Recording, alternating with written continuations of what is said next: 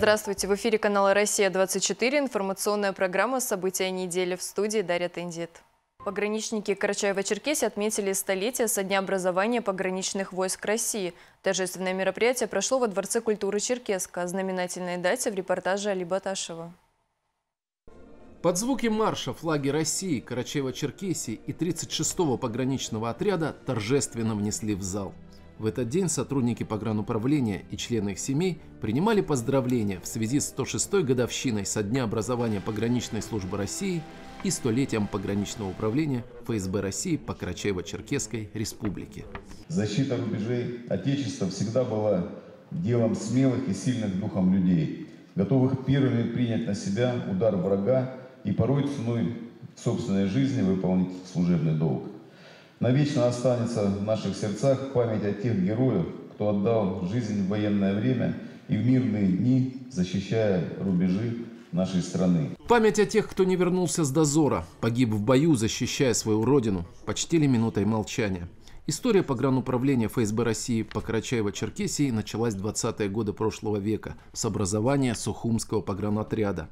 До настоящего времени все поколения пограничников достойно несли свою службу по охране государственных рубежей, отмечали выступающие. Ветеран погранслужбы Евгений Болховитин прошел путь от рядового солдата до генерала-полковника.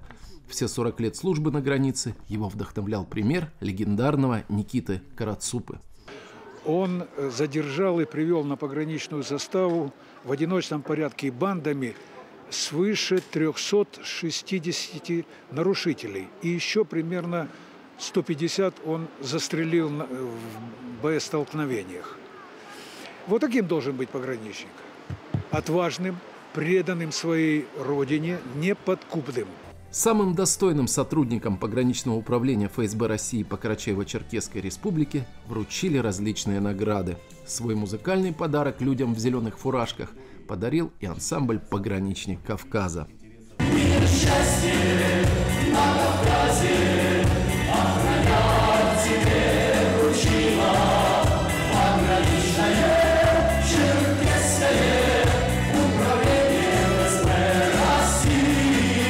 ходе праздничного мероприятия состоялись показательные детские выступления. Все желающие могли попробовать кашу из полевой кухни, а также ознакомиться с выставкой современного оружия и специальных средств связи российского производства. Мальчишки смотрели в прицелы снайперских винтовок, разглядывали тепловизоры и восхищались теми, кто стоит на охране рубежей нашей страны и держит границу на замке. Али Баташев, Али Бастанов, Вести Карачаева-Черкесия. Движение «Жизнь». В Общественной палате состоялся круглый стол на тему качества и безопасности автомобильных дорог. Как обезопасить себя и сохранить жизнь без ДТП, расскажет Майя Хамдохова.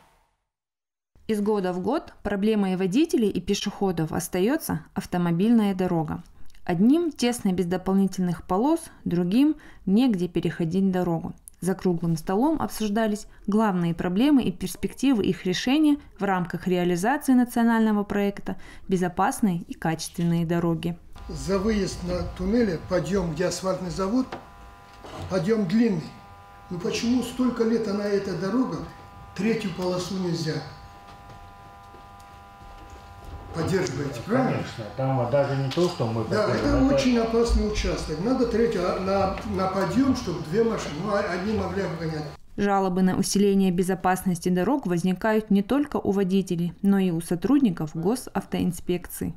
То есть есть такие моменты, да, где, например, к слову, не нужно ограждение, а там по проекту указано. И все, это надо установить а где необходимо, отсутствует это ограждение. Ну, то есть мы хотели, как вот именно госавтоинспекция, хотели принять участие. Именно в, когда они определяют, чтобы мы тоже участвовали, согласовывали, и когда они сдают. Дорожные знаки на проезжей части, дополнительные полосы на дорогах не всегда являются показателями безопасности. Сколько бы ни строилось комфортных дорог, статистика ДТП с летальным исходом не снижается, рассказывают представители дорожных служб установка дорожного освещения, установка ограждений. У них нигде не закладывается. У них только проезжая часть. И у нас из-за этого происходит рост ДТП. То есть угу. тем э, лучше проезжая часть, мы все понимаем, да, чем э, тяжесть последствий и скорость движения выше, и тяжесть последствий еще, само собой, усложняется. К превышениям скоростного режима, несоблюдением правил дорожного движения прибавилась еще одна проблема – это наезд водителей на животных. Серьезность последствий такого ДТП должен понимать каждый хозяин домашнего скота. ДТП э, с наездами на животных. Таких в этом году зарегистрировано 29, в которых погибло 2 человека и 7 получили ранения. ДТП у нас большей частью данного вида связаны в Зеленчукском районе происходят, в Жигутинском районе, Прикубанском и Адыгехаблевском ДТП. Правила существуют, чтобы их не нарушать. С сотрудниками госавтоинспекции нередко проводятся профилактические мероприятия на улицах как Черкеска, так и в целом республики. Быть понятым и услышанным сотрудниками дорожных госавтоинспекций важно и нужно – Главная цель – донести до автолюбителей и подрастающего поколения, что ошибки на дорогах обходятся жизненно дорого. Майя Хамдохова, Али Бастанов, Вести, Карачаева-Черкесия. Свет Христов. Под таким названием в Черкеске прошли концерты третьего патриаршего международного фестиваля духовной музыки. Музыкальную программу лучших духовных произведений представил Московский синодальный хор под руководством заслуженного артиста России Александра Пузакова, а также церковные хоры Покровской церкви и Никольского собора Черкеска. Подробнее Оли Баташева.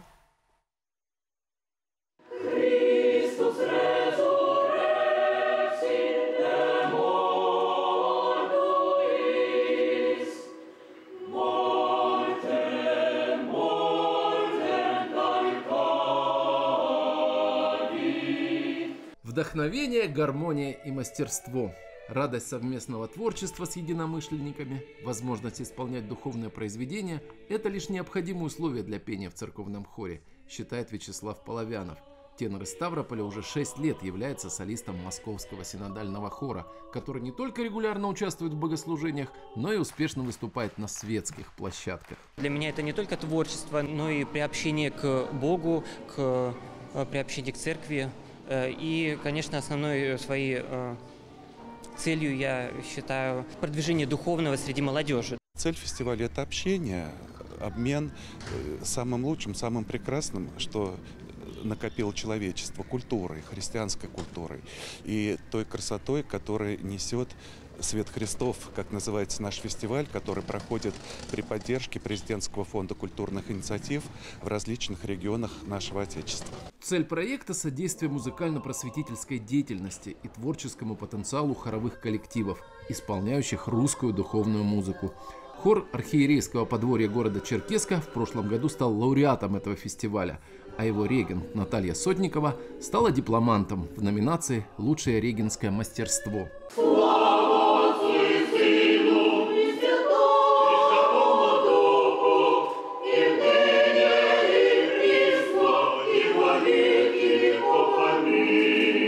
Покровская церковь Черкеска была представлена двумя хорами – детским и взрослым. Руководитель двух певческих коллективов Елена Нартова.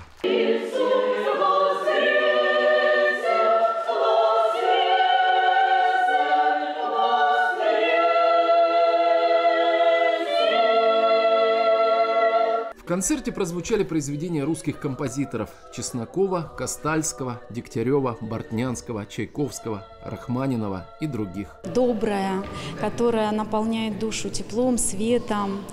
И когда э, участвуешь в таких подобных мероприятиях, тогда ты понимаешь, что жизнь все-таки состоит не только из суеты, но еще иногда хочется заглянуть в свою душу. Ежегодный фестиваль «Свет Христов» проводится с 2021 года. За это время он объединил более 2000 участников из 42 субъектов России, а также других стран – Австрии, Азербайджана, Белоруссии, Великобритании, Казахстана, Франции.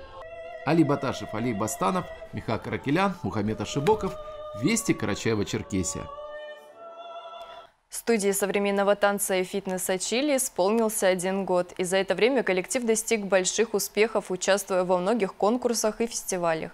Какие танцы и направления интересны нынешней молодежи и как воплотить свои творческие способности с командой Чили? Светлана Шаганова встретилась с руководителем студии и преподавателями-хореографами. Мы приветствуем вас в студии современного танца и фитнеса Чили. Здравствуйте. А, здравствуйте, меня зовут Екатерина Александровна Замалдинова. А, я являюсь основателем и руководителем студии современного танца и фитнеса Чили. Вот, сегодня вы пришли к нам в гости, мы очень рады вас видеть. Со мной мои хореографы. Это Глеева Валентина, Куржева Самира и София Газгешева. Очень приятно сегодня быть у вас в гостях, познакомиться с вами поближе. Э, вашей студии исполнился всего один год – Срок, конечно, такой не, не, небольшой, да, такой маленький у вас юбилей, но за это время вы успели достичь многого. У вас уже есть определенные результаты, судя по вот этой стене с кубками, с грамотами. Э, расскажите, вот с каким результатом вы подошли к этому маленькому юбилею? А на самом деле мы сами не ожидали, насколько мы популяризируем танцы в нашем городе именно современного стиля, так как э, современного стиля в городе достаточно мало. Вот. Когда мы открылись, мы решили приглашать детей и взрослых танцевать. Все с большим удовольствием приходили. А мы просто даже не заметили, как мы стали популярными, и о нас знали просто все. Вот. Также мы выходили иногда танцевать в город. В прошлом году э, на Первомайской мы танцевали, веселили наших людей. Все были в таком восторге от того, что Черкесск может э, настолько быть свободным, настолько вот просто выйти и на Первомайской танцевать. Вот. И так мы максимально заявили о себе. А, и с начала, получается, года танцевального сезона, как говорится, мы начали ездить по чемпионатам, по фестивалям, по конкурсам, занимали призовые места. Как бы ниже второго у нас нет, в основном как бы первые, первые места, и как бы дети довольны, и мы довольны. И вот так вот и работаем. Вы знаете, на мой взгляд, у вас очень удачный старт был. Вот. И для нашей республики, для нашего Черкеска это что-то вот необыкновенное, да? что-то необычное, что-то новое, наверное, да? Э, в мире вот хореографии. Э, вот скажите, почему вы взяли за основу именно кей-поп, еще какие есть направления, почему именно за основу были взяты именно вот эти танцы? А, ну, на самом деле у нас очень много направлений для детей, для взрослых. Для взрослых у нас 21 направление. Это и танцы, и фитнес. А, как бы в студии очень много и других, просто а, кей-поп стал очень популярен. И запросы были просто большим количеством. А, есть ли у вас кей-поп, есть ли у вас кей-поп, писали, звонили. Вот, э, тут я начала думать, нам нужен преподаватель, а как бы Черкесск, я еще раз говорю, современно не танцующий город. Вот, э, и я нашла нашу прекрасную Самиру. Вот, она пришла на занятия к Софии, вот я ее заметила и предложила ей быть нашим преподавателем по кей-поп. Ну, раз вы вот нашли специалистов в этом направлении, да, так, ну поближе ко мне София. София, все же, э, почему именно это направление, вот, или из-за того, что оно взорвало сейчас весь мир, это музыка? Так как я самоучка, танцами занималась сама, мне было сложно выбрать какой-то один стиль, типа хип-хоп или там брейк-данс, вог, национальный. Я просто слушала музыку и подстраивалась под музыку. И когда я пришла к Кате, Катя сказала, я назову группу джаз-фанк. Ну, я, буду, я ей сказала, что я буду преподавать то, что я хочу. Она сказала, так и сделай. Но джаз-фанк на самом деле и так является очень разносторонним стилем, который включает в себя все разные направления.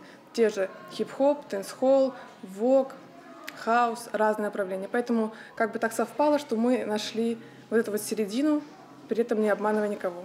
Вы сами занимались хореографией раньше? Ну, профессионально где-то я не училась, я ходила в разные кружки, чисто вот э, для коллектива.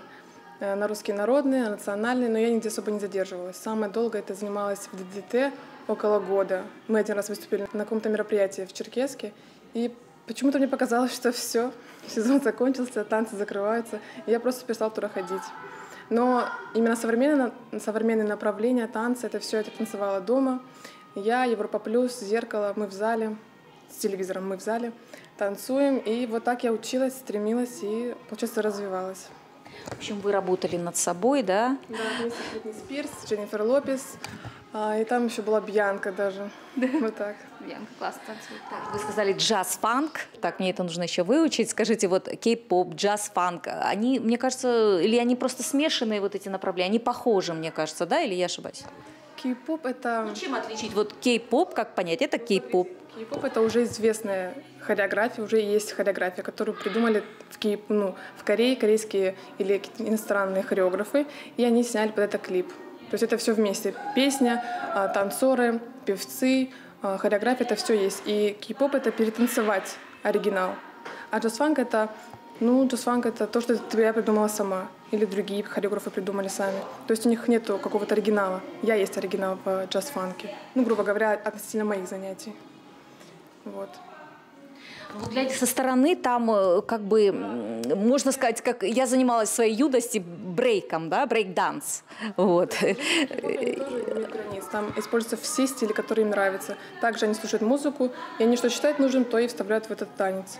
То есть это тоже джаз-фанк, это брейк-данс, это хип-хоп, но просто это культура такая.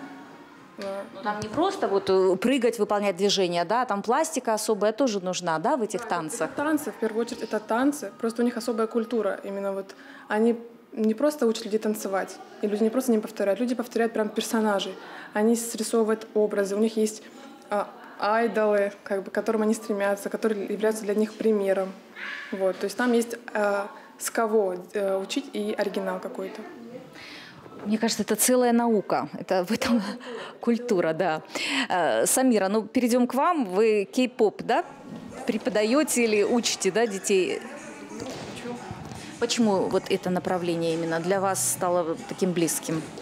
Потому что много детей, опять-таки, просили, и это не только танцы, то есть дети получают огромное количество эмоций, когда повторяют «вы танцуете», «вы копируете персонажей», и это огромный азарт для детей – Особенно, когда вы только ставите хореографию, проходите весь этот путь тяжелый, и в конце вы завершаете ее и понимаете, все, мы сейчас поедем покорять города просто и будем получать первые места, поэтому я думаю, да.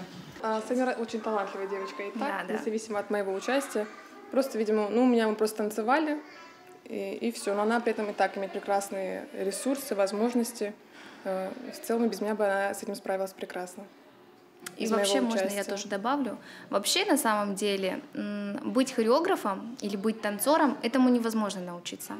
Это нужно быть просто талантливым, просто родиться талантливым, просто слышать музыку, а, просто чувствовать свое тело. И на самом деле, как бы, бумажка бумажкой, но главное талант. Вот если человек талантливый, ему не нужны никакие преподаватели, он сам может добиться. Вот даже София и Самира — это э, пример того, что можно просто танцевать под Бьонса около телевизора с зеркалом и просто стать великолепными танцовщиками, великолепными преподавателями, потому что девочек очень любят ученики, вот, и как бы добиваться высот. И танцевать круче людей, намного круче людей, которые, может быть, прошли какой-то хореографический путь, учились, а, и за ними стоял там опыт э, именно с э, учителями, так скажем. Переходим к Валентине.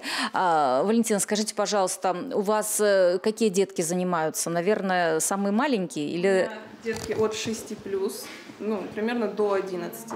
У меня детки учатся сначала основы хореографии, это классический танец, то есть какие-то там позиции, база, все мы учим потихоньку, вот. После этого, ну, у нас еще растяжка есть, то есть это дает пластичность детям. А, Они могут как раз за счет растяжки могут делать разные дополнительные движения в танце. Вот. И танцуем современные танцы, вот. Ну, так, разнообразие, то есть разные стили, вот так вот. Ну, наверное, с маленькими тяжеловато, да, или как? Ну, немного тяжело, тем то, что они отвлекаются, болтают друг с другом, подружки находят себя, вот. Ну, вот это бывает тяжеловато. Все равно, вот э, глядя со стороны, вы их очень многому научили, да, и они очень талантливые у вас, малыши. Ну, мы стараемся, работаем. Скоро еще будем выезжать, пробовать добиваться новых успехов, вот. Вот я обратила внимание, у вас э, ребята вот все талантливые. Вот это ваша заслуга или все-таки они уже пришли такими талантливыми? Или вы научили их?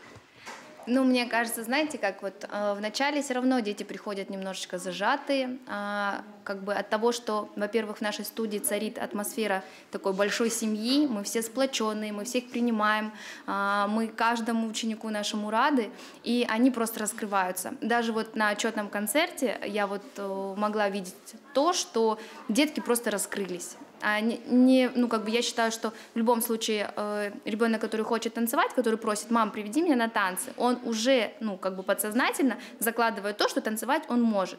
Но просто от того, что у нас э, такой мир сейчас, дети там то в телефонах, то э, как бы заняты чем-то другим, они просто постепенно раскрываются. И вот, допустим, даже вот в Самирной группе, в моей группе, реально проходит какое-то время, э, и дети реально, они просто становятся другими. Они раскрываются, они становятся сильными, мы такие смотрим, нифига себе у нас какие сильные танцовщики, просто за год, а что будет дальше?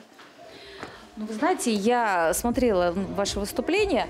Я хочу сказать, что дети вот обладают еще актерскими способностями, да? А, этот вопрос к Самире, потому что а, детки, которые танцуют кей-поп, они повторяют мимику, жесты, просто копируют настолько а, своих айдолов, вот, кумиров, за которых они танцуют. Поэтому им это все еще легче. Но э, еще, конечно же, конечно же, наш хореограф старается, старается, просит их максимально вживаться. Самир, расскажи, как ты это делаешь.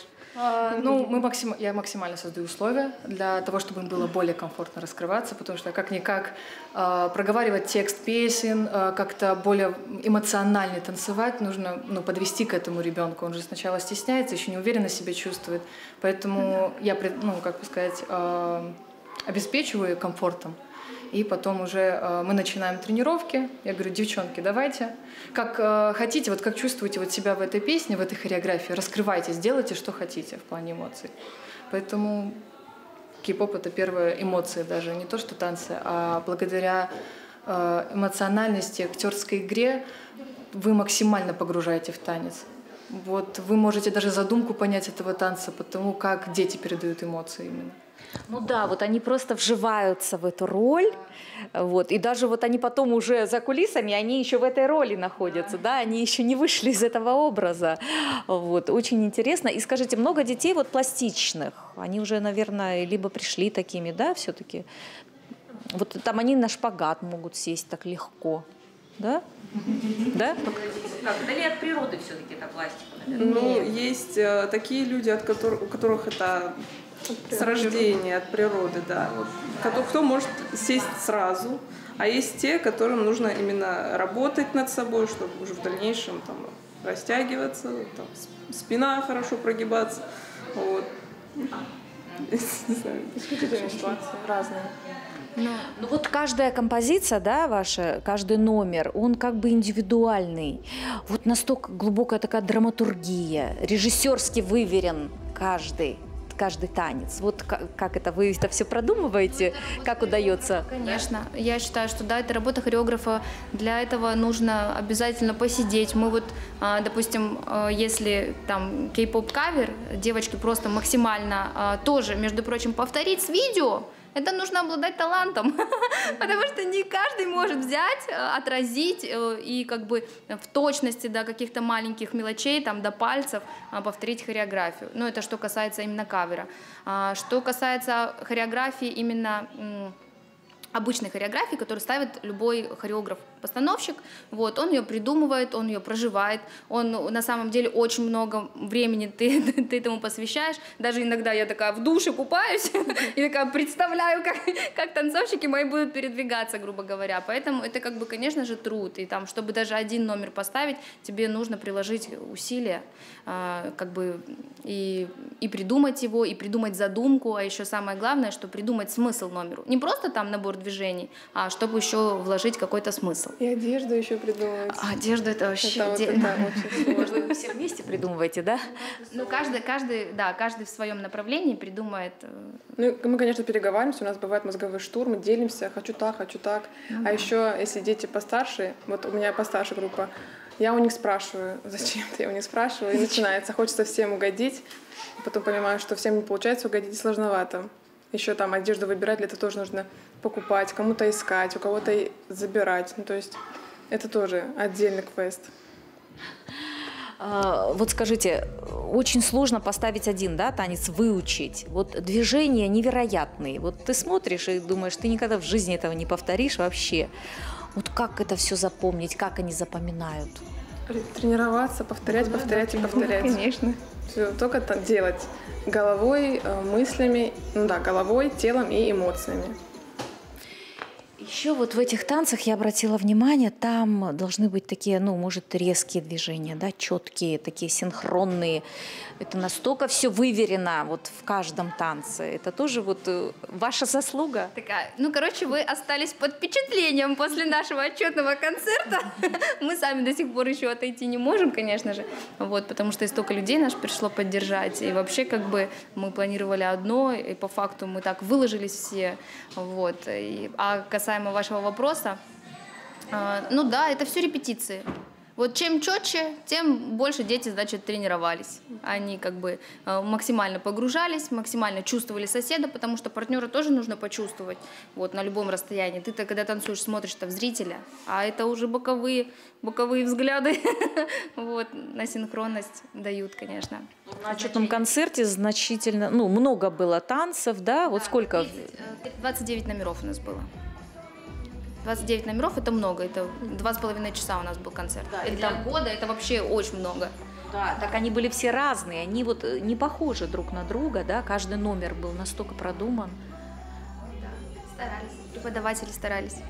Вот, не зря ж мы это собрали самых сильных. Между прочим, в нашей студии самые сильные преподаватели города. Да, есть еще в других студиях, но как бы э, я постаралась организовать именно такое пространство, э, вложиться во все, в атмосферу, быть руководителем справедливым, добрым, вот, чтобы сами хореографы, сами преподаватели ко мне тянулись и хотели быть вот именно э, в чили семье, так скажем. Ну, в общем, вы так поймали удачу за хвост, да? Да, вот, да. Так планировалось. Скажите, сколько деток вот занимается? Ну, может, разных возрастов, и маленьких, и больших? А, вообще, вообще вот. детей более ста. А, в нашей студии занимается сейчас более 100 человек. Вот. Но еще у нас есть взрослые, и взрослые направления не надо недооценивать. Очень много взрослых, которые а, хотят после работы прийти и как бы разгрузить свою голову от работы, от семьи, вот, э, максимально погрузиться в танцы, потому что это в любом случае вдохновляет. А, когда ты приходишь после занятия, ты все равно как бы другим человеком возвращаешься. Поэтому у нас еще около 70 или 100 человек взрослых, но все зависит от сезона. Вот мы тоже такие от сезона до сезона работаем. Вот. Зимой, конечно же, побольше людей, когда лето начинается, а, ну, спад есть небольшой. Скажите, до какого возраста, вот, к примеру, дети занимаются? Или они э, заканчивают школу и, и уже не возвращаются? У нас вообще нет э, никаких ограничений по возрасту. У нас занимаются детки с трех лет и вообще без возрастных ограничений, потому что у нас есть самая взрослая группа фитнес-дэнс, там от 50 лет у нас женщины. 50-60, вот так вот занимаются, а, как бы танцуют, вот именно фитнес-танцы. Очень интересно. Пользуются спросом тоже. Ну, наверное, впереди вы хотите покорить еще новые горизонты, новые вершины, да? Вот что в планах, какие, может, конкурсы, может, готовитесь вы сейчас?